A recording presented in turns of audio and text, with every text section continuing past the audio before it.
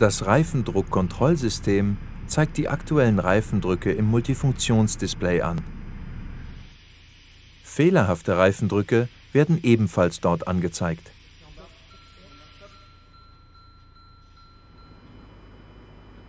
Die Speicherung der korrekten Reifendrücke erfolgt nach dem Messen und Einstellen der Fülldrücke bei kalten Reifen